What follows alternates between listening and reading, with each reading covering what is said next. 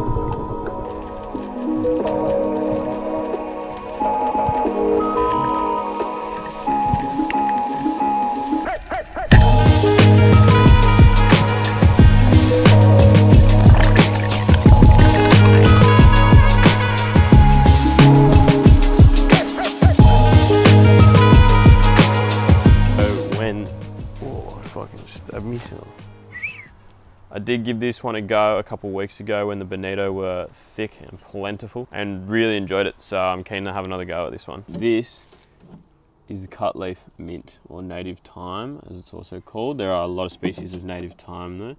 We do have this one here as well, which I'm not too sure on the exact species. It does kind of have a minty, mentholy smell to it, but that's more when you haven't cooked it. Once you have cooked it, it's kind of peppery, kind of earthy, a bit more floral, uh, less of that minty mentholy, which is awesome. So grab a little bit of this one as well. And I did just want to use a touch of this lemon myrtle, but I think we might try and take the tips.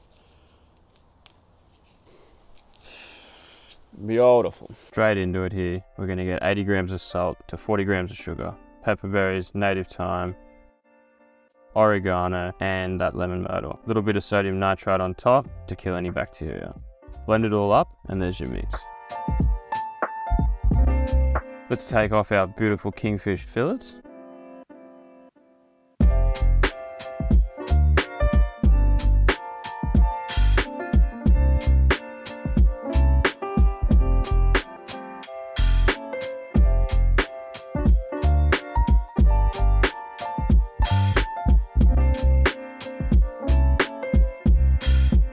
usually when you take the ribs out of a fillet like this, you're going to end up with a real thin piece of belly meat.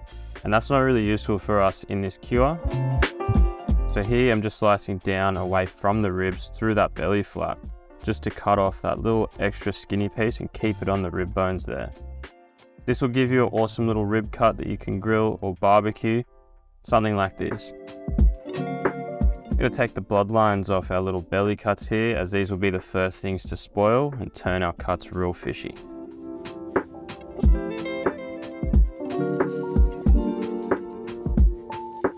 Top to bottom, we're going to cover these portions in a generous coating of our cure.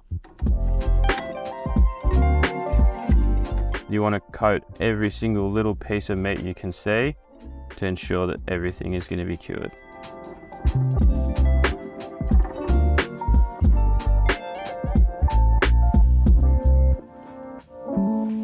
Sweet, so these bad boys are all salted up, all covered in that lovely cure we just made.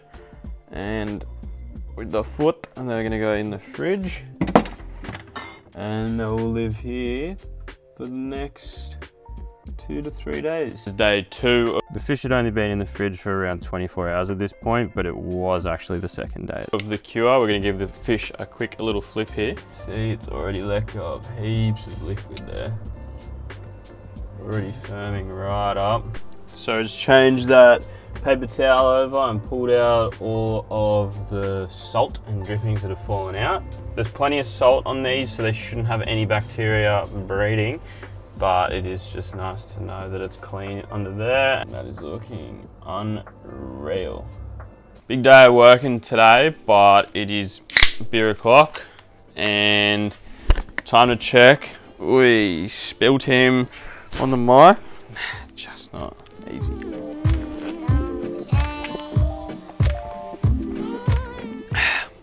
It is time to check on the kingfish. See how he's going. I think we're gonna pull him today. I did leave the bonito recently for three days. Excuse me. But these have been in here for like two whole days and they're still a bit soft, which I kind of like. Bit interesting because the bonito did end up almost a bit barky. This muscle here, you can see all the lines on it there. It's just losing all of its moisture, just exposing all of those muscle fibers. So last time I used a smoke box, I'll show you that in a bit, but didn't work so well. So this time we've got a smoke basket. It's like a snail kind of shape, a lot of mesh through it. I'm hoping that this will allow the sawdust to get a lot more airflow and as a result stay lit and smolder for longer. This is the log, the timber I've been using. Um, I think it's a gum of some kind, maybe red gum. Could even be black butt, something like that.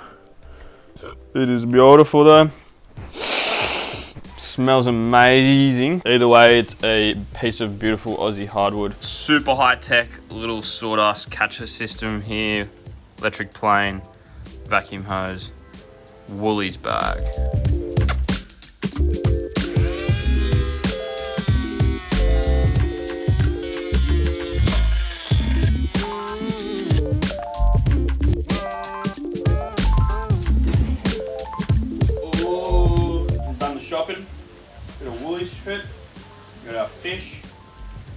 Smoking.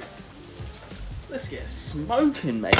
The Weber kettle, my favourite little barbecue thing to use. Set it up underneath, I reckon, just so that the smoke can come up through the grill onto the fish. So this is the smoke generator I was talking about. A bit better than this thing that they reckon will burn and smolder even when there's a lid like this on it. And I reckon they're full of shit because it doesn't burn and doesn't keep burning. But I kind of made it work last time like filled it up with sawdust and then just put coals in and just let them smolder. So I'm hoping this is going to work better. Got airflow all around the wood dust and hopefully things can keep burning. Let's see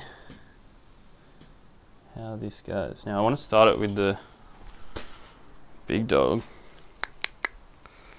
They reckon you start it with a little little tea light, but I don't really know about that. We can try. It has begun. Oh, I don't know about this whole candle thing. It's kind of working, but it's not really burning. It's not really burning, is it, mate?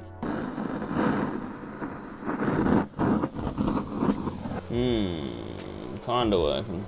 Alright, so we're getting a good amount of smoke out of that. Hopefully that'll hold put the door over it and we can get to it. See what we get. I think can take a bit of that cure off as well. It's going to be potent. Yeah, see, I swear it's already kind of just going out.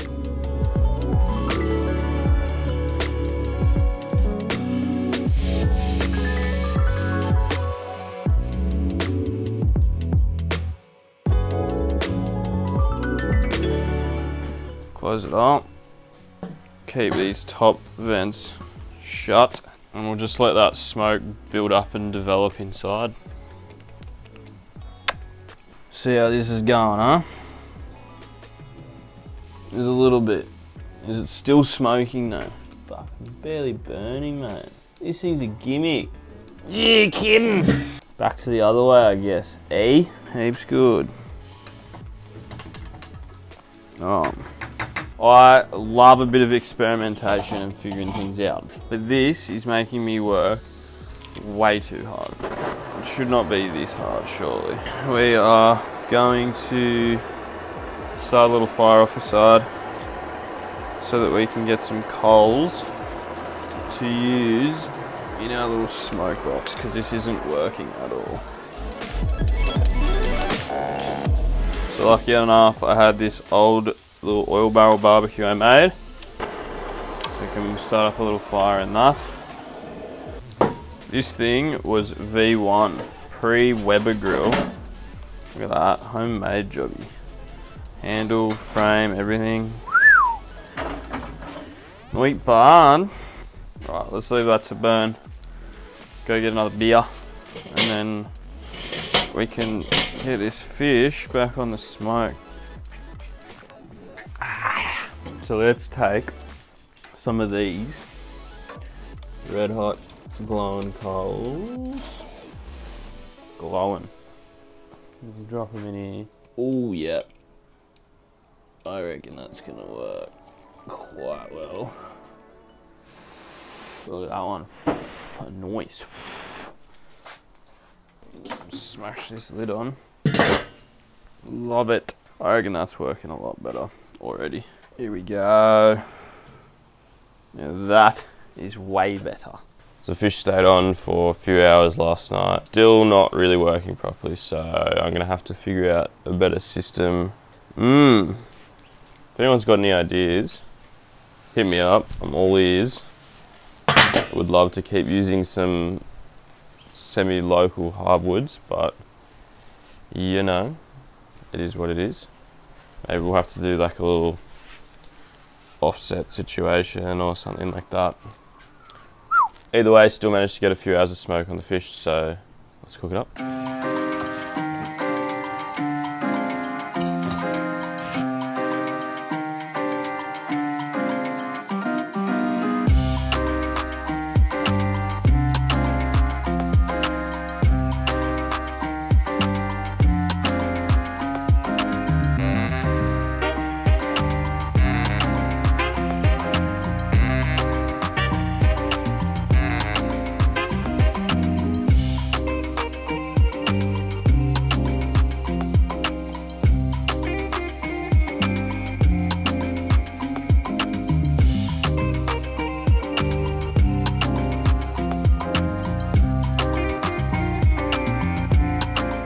There we have it guys, cured kingfish bagels. Hope you enjoyed. And if you want to see some more epic cook-ups, you can jump over to my Instagram, Bosh Jollen.